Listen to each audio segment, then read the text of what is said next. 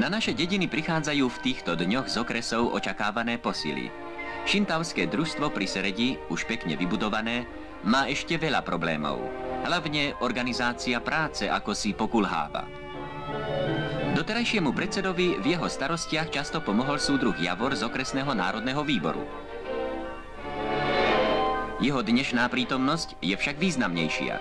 Súdruha Javora navrhujú za predsedu družstva. V dedine ho dobre poznajú, vedie jedným z nich.